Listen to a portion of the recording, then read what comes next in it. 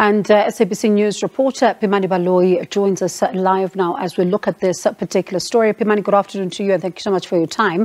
Take us through that moment when Ndou broke down. What led to that? Good evening, Bongiwe, and good evening to our viewers. It was actually as his lawyer started presenting the report that the court had just received from the Donald Fraser, when the lawyer said the words bipolar mood disorder, suddenly there was a cry that burst out in that court building.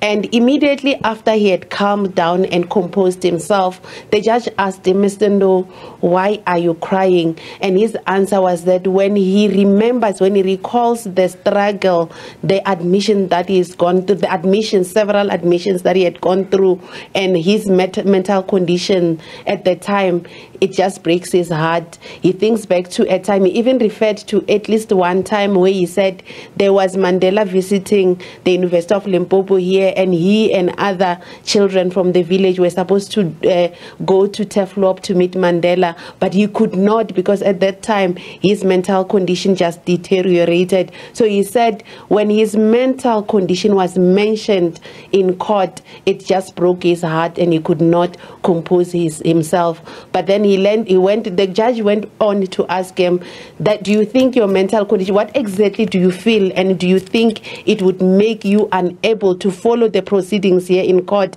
Do you think it affected what you have been, you are being alleged of? And Mr. Ndou stated that, you know, eh, because of his mental condition, he struggles to fall asleep most of the time, where he spends the entire night, this is what he said in court, uh, awake, and then he only falls asleep in the morning. And when the judge pushed to say, but then you, if you are awake in the morning, would you not be able to come to court? And he said, no, he often has headaches during the day because of the lack of sleep and he just is unable to focus and concentrate. So we saw a very emotional Mr. Ndou who said his mental state is something that is very touchy for him and it makes him very emotional. Bongiwe.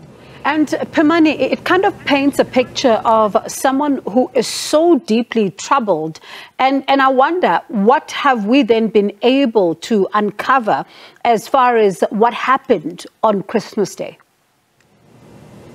Bongiwe, it sounds like somebody who's very troubled, and unfortunately, as members of the media, we are unable to go through that report ourselves because it was actually a very big file that was brought into court. And from what the lawyers were saying on record, it looks like it details a lot of instances where he needed assistance for his mental condition, where they say he was hospitalized for uh, days on end from childhood, you know, when he was young. And what we gather happened that uh, fatal evening, Bongi, was that Mr. Ndou had relocated, had, uh, had come home to, to uh, Jimmy Jones village from uh, Mahikeng, where he worked for the holidays. And the, the uh, you know, this is hearsay information that has not been confirmed.